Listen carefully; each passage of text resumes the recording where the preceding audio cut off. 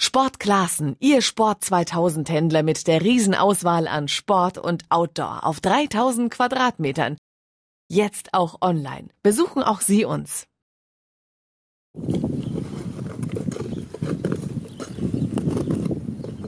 Endlich aufs Eis. Harry Großpietsch kann es kaum erwarten und dreht schon mal eine Runde zu Hause im Garten. Der Dauerfrost hat aus seinem Swimmingpool eine kleine Privateisbahn gemacht.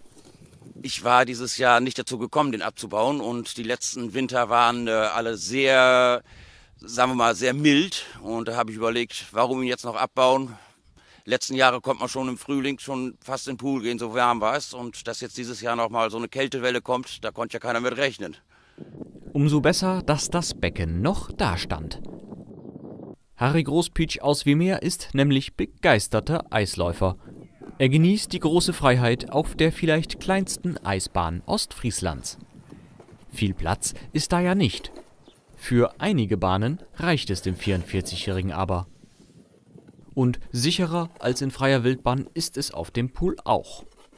Also die ersten Eisflächen werden langsam hart. Äh, man muss noch vorsichtig sein. Ich äh, warne auch immer davor, zu früh aufs Eis zu gehen. Man sollte erst echt äh, warten, bis es richtig durchgefroren ist. Es sind noch viele offene Stellen. Wir haben gestern schon geguckt und äh, es wird langsam was, aber noch ist es nicht so weit.